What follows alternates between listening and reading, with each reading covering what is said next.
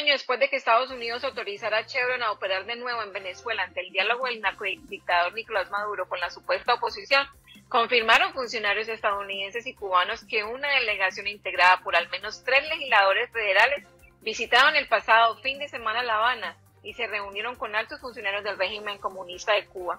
La Embajada de Estados Unidos en Cuba informó que el pasado domingo los representantes demócratas James McGovern por Massachusetts, Mark Pocan por Wisconsin y Troy Carter de Luisiana se reunieron con el designado gobernante cubano Miguel Díaz Canel, representantes del Congreso cubano y con su ministro de Asuntos Exteriores. Se trata de una de las contadas visitas de este tipo a la isla en las últimas décadas. Aunque los funcionarios no dieron a conocer muchos detalles sobre los temas a tratar, Díaz Canel y el Congreso de Cuba tuitearon fotos de las reuniones. En una de las fotografías se ve al representante McGovern estrechando la mano del designado gobernante cubano y en otra se muestran los políticos durante una reunión con otros funcionarios de la dictadura castrista. El dictador cubano Díaz Canel sobre esta reunión tuiteó lo, lo siguiente, abro comillas, abordamos nuestras diferencias y temas de interés común. Se ratificó la voluntad compartida de mejorar las relaciones bilaterales. También expresó el mandatario sobre la importancia de poner fin al embargo comercial que el gobierno estadounidense mantiene desde hace seis décadas en la isla por violaciones de derechos humanos y corrupción. Funcionarios del gobierno del presidente Joe Biden han realizado varias visitas a la isla en los últimos meses para hablar sobre la migración. Las conversaciones marcan una escalada gradual de las tensiones, las cuales se redujeron durante la, la presidencia de Barack Obama y se intensificaron durante el gobierno de Donald Trump. A mediados de mayo, doctor Londoño, la Casa Blanca anunció la eliminación de las principales políticas sobre Cuba adoptadas por la administración del presidente Donald Trump. La administración del presidente Joe Biden y congresistas demócratas buscan un acercamiento con el régimen comunista de La Habana, mientras la Casa Blanca negocia con la dictadura y flexibiliza las sanciones, entre ellas el levantamiento de las restricciones a los vuelos a Cuba y el límite a las remesas, Mientras tanto, la dictadura sigue oprimiendo a su pueblo y mantiene a centenares de presos políticos en las mazmorras del régimen. Mientras tanto, doctor Londoño, el presidente de la Asamblea Nacional de Cuba, Esteban Lazo, se reunió en el Capitolio de La Habana con los tres congresistas demócratas expresando lo siguiente, abro comillas, como vecinos, mientras más cercanos estamos, mejor debemos relacionarnos entre nosotros. Por otra parte, doctor Londoño, los congresistas demócratas manifestaron que quieren que el bloqueo termine y que las relaciones entre ambos países se normalicen, que no existen razones para incluir a Cuba en la lista de países patrocinadores del terrorismo, pese a la influencia y el patrocinio de Cuba a grupos narcoterroristas como las FARC y el ELN, a quienes ellos protegen. Recordemos, doctor Londoño, que Cuba enfrenta el éxodo migratorio más grande de la isla en una década, impulsado por una crisis económica, energética, política y corrupción de los grupos de poder. En el último año se ha disparado el número de llegadas de cubanos a la frontera entre Estados Unidos y México, y cada vez se encuentran más embarcaciones repletas de inmigrantes frente a las costas de la Florida. Las autoridades estadounidenses realizaron 28.848 detenciones de cubanos, un 10% más que el mes anterior, según los datos más recientes de la Oficina de Aduanas y Protección Fronteriza de Estados Unidos.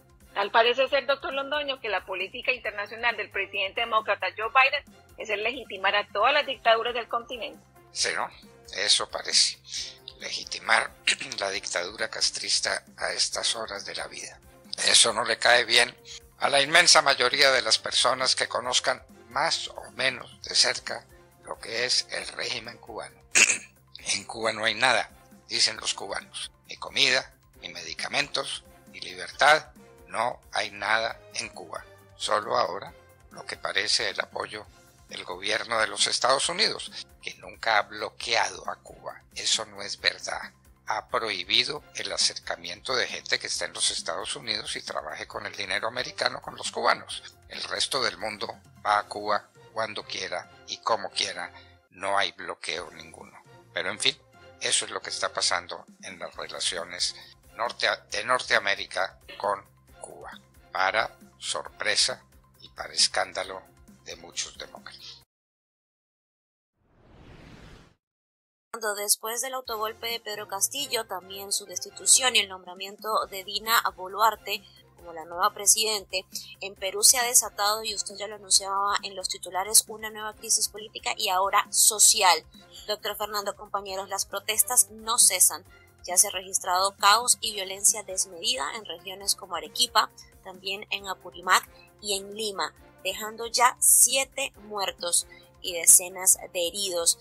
La presidenta Boluarte ya ha declarado el estado de emergencia en las regiones donde las protestas son más violentas. La carretera Panamericano Sur y también otras vías principales del país se encuentran bloqueadas y los manifestantes han atacado fuertemente, doctor Fernando, a la fuerza pública. La situación en el distrito de Lima es tan complicada que el director de la región de educación de Lima Metropolitana, Luis Quintanilla, ya anunció la suspensión de las clases en los colegios particulares y también en los colegios públicos para el día de hoy. Y la Autoridad de Transporte Urbano ya ha tenido que desviar y modificar sus rutas por eh, la ciudad para poder salvaguardar a la, la, vida de los usuarios. También, doctor Fernando, ayer trascendió que integrantes, escuchen esto, de Sendero Luminoso y otros grupos guerrilleros estarían participando en las jornadas de violencia en contra de la presidente Dina Boluarte. Esta información fue dada a los medios locales por el jefe de la Dirección contra el Terrorismo de Perú, Oscar Arriola. Dijo doctor Fernando que las autoridades ya han identificado que algunos manifestantes cuentan con antecedentes de haber integrado grupos terroristas y que están incitando a los manifestantes a cometer desmanes.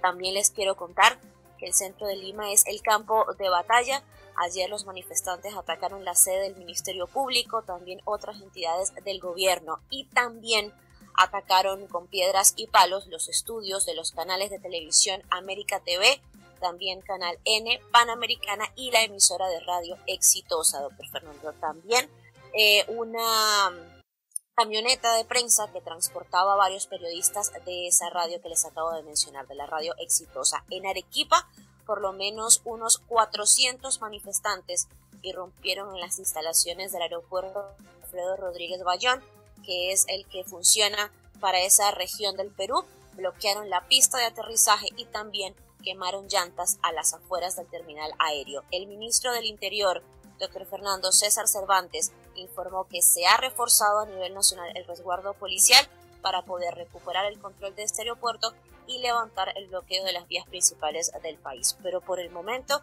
en Perú, todo es caos. Todo es caos, eso es lo que deja Castillo.